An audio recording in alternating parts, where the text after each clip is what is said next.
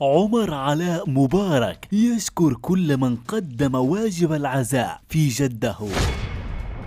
تعرف على حقيقة وفاة المشير طنطاوي حزنا على حسني مبارك. محامي يطالب بإطلاق اسم حسني مبارك على مدينة مصرية. تعليق نشأة أديه على جنازة الرئيس الأسبق حسني مبارك. في مسقط راس حسني مبارك أقاربه يرون أسرارا جديدة. السلام عليكم واهلا ومرحبا بكم في قناتكم كورة شراب. لطفا قبل أن نبدأ فلا تنسوا أن تدعمونا ب like أسفل الفيديو حتى نستطيع أن نوصل هذا الفيديو إلى تسعة آلاف like. لو بتحب حسني مبارك فلا تنسى أن تضغط like أسفل الفيديو. فهذا يساعدنا كثيرا في معرفة عدد المحبين للرئيس الراحل حسني مبارك ولا تنسوا أن تضغطوا اشتراك في القناة وتفعيل زر الجرس لكي يصلكم كل جديد أولا بأول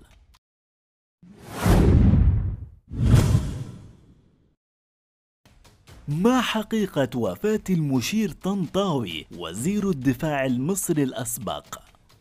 أكد اللواء الدكتور سمير فرج مدير إدارة الشؤون المعنوية الأسبق على صفحته الرسمية على موقع التواصل الاجتماعي فيسبوك أن المشير محمد حسين طنطاوي بخير الحمد لله. وأضاف اللواء سمير فرج في تصريحات له لوسائل الإعلام أن المشير طنطاوي بخير وكان قد أصدر نعيا للرئيس الأسبق حسني مبارك. في أحد الصحف القومية منذ يومين. وشهدت مواقع التواصل الاجتماعي خاصة صفحات الفيسبوك حالة من الارتباك والفزع. عقب انتشار أخبار تفيد بوفاة المشير محمد حسين طنطاوي وزير الدفاع الأسبق أيام الرئيس الراحل محمد حسني مبارك. لكن سرعان ما تبين أن تلك الأخبار مجرد شائعات وانتشرت عديد من الشائعات على موقع التواصل الاجتماعي عن وفاة المشير محمد حسين طنطاوي. الطنطاوي القائد العام للقوات المسلحة وزير الدفاع ورئيس المجلس الأعلى للقوات المسلحة الأسبق.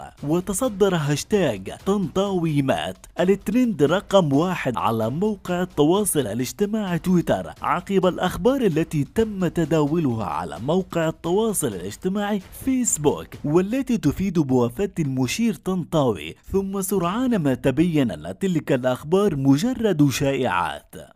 ونفت مصادر هذه الشائعات مؤكدة أن المشير طنطاوي يعاني من أزمة صحية فقط مشيرة إلى أن القائد العام الأسبق للقوات المسلحة يعاني من أزمة صحية حاليا وأنه يتلقى العلاج بصورة طبيعية مشددة على عدم الانسياق وراء الشائعات. ونعى المشير محمد حسين طنطاوي وزير الدفاع الأسبق قبل ساعات الرئيس الراحل محمد حسني مبارك الذي وافته المنية الثلاثاء الماضي عن عمر ناهز 91 عاما. وجاء النص نعي المشير طنطاوي ينعي المشير محمد حسين طنطاوي بمزيد من الحزن والأسى. السيد الرئيس الأسبق محمد حسني مبارك تغمده الله بواسع رحمته ومغفرته مغفرته وألهم أسرته الصبر والسلوان وتغيب المشير طنطاوي عن الجنازة العسكرية التي أقيمت للرئيس السابق ظهر أمس بعد أن تمت صلاة الجنازة على الفقيد بالمسجد الذي يحمل اسم المشير بالتجمع الخامس إلا أن وفاة المشير طنطاوي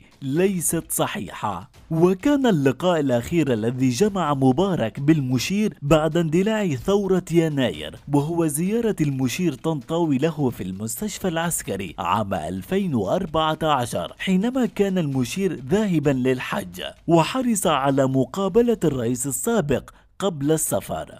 يذكر أن المشير محمد حسين طنطاوي تخرج في الدفعة الخامسة والثلاثين الحربية في الأول من إبريل عام 1956 وحصل على بكالوريوس العلوم العسكرية ودورة كلية الحرب العليا وترقى في المناصب حتى تولى وزارة الدفاع عام 1991 ورقي إلى رتبة المشير في أكتوبر عام 1993 واستمر في منصبه حتى خروجه في أغسطس عام 2012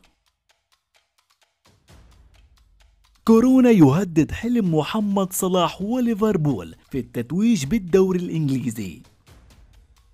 كشفت الصحافة الإنجليزية الصادرة اليوم الجمعة أن حلم نادي ليفربول المحترف ضمن صفوفه محمد صلاح نجم منتخب مصر في الحصول على لقب الدوري الإنجليزي الممتاز ال Premier League للمرة الأولى منذ عام 1990 بات مهددا بسبب انتشار فيروس كورونا في العديد من دول العالم ومنها بريطانيا. وذكرت صحيفة تلغراف أن الحكومة الإنجليزية قد تتخذ قرارا بإيقاف مسابقة الدوري الإنجليزي الممتاز ال Premier League من أجل محاربة فيروس كورونا والحد من انتشاره خوفا من أن يضرب إنجلترا كما فعل في إيطاليا. وأضافت الصحيفة لا يوجد أي ضمان لتتويج ليفربول بالدوري الإنجليزي الممتاز في حال تم إيقاف الموسم قبل نهايته وعدم استكمال باقي الجولات. أما صحيفة ديلي ميل فقالت على الرغم من أن ليفربول يتفوق بفارق 22 نقطة عن أقرب منافسيه في مسابقة الدوري الإنجليزي الممتاز إلا أن ليفربول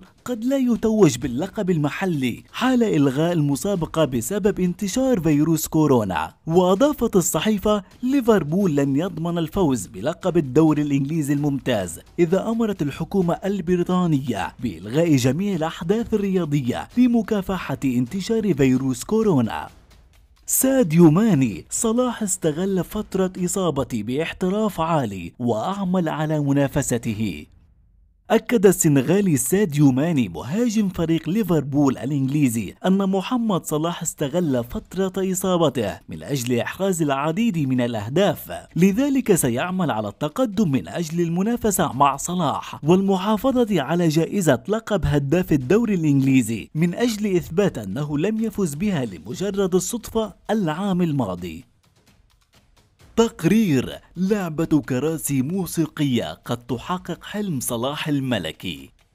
خلال الساعات القليلة الماضية ربطت بعض التقارير الأوروبية المصري محمد صلاح لاعب ليفربول الإنجليزي باحتمالية الانتقال إلى ريال مدريد الإسباني خلال فترة الانتقالات الصيفية المقبلة. ليست المرة الأولى الذي يرتبط فيها صلاح بالانتقال إلى عملاقي إسبانيا سواء برشلونة أو ريال مدريد. فبعد المستويات اللافتة للنظر التي قدمها مو على الأراضي الإنجليزية خاصة في أولى مواسم موسمه بقميص الريدز واللاعب المصري محط أنظار كبار أندية أوروبا. في شهر مايو 2018 ذكر البرنامج التلفزيوني الشهير الشيرينجيتو أن ريال مدريد يتطلع للتعاقد مع صلاح بصرف النظر عن القيمة المالية للصفقة والتي قال حينها أنها قد تبلغ 200 مليون يورو علما بأن الضحية سيكون الويلزي جارث بيل. في الوقت ذاته علم يلا كورا أنه لم يحدث أي اتصالات رسمية أو حتى ودية في الفترة الأخيرة من أي مسؤول بنادي ريال مدريد مع إدارة ليفربول أو حتى مع رامي عباس وكيل أعمال ومحامي صلاح. ولم يختلف الأمر كثيرا وعادت الأقاويل لتربط صلاح بالرحيل إلى ريال مدريد خلال الساعات القليلة الماضية دون تأكيد أو نفي من أي من الطرفين. والآن أعزائي المشاهدين أعتقد أننا وصلنا إلى نهاية الحلقة ولكن قبل أن أنهي حديثي سأطرح عليكم سؤال وأتمنى منكم المشاركة بآرائكم في التعليقات هل سيتوج محمد صلاح بجائزة ال Golden Boot كهداف للدوري الإنجليزي؟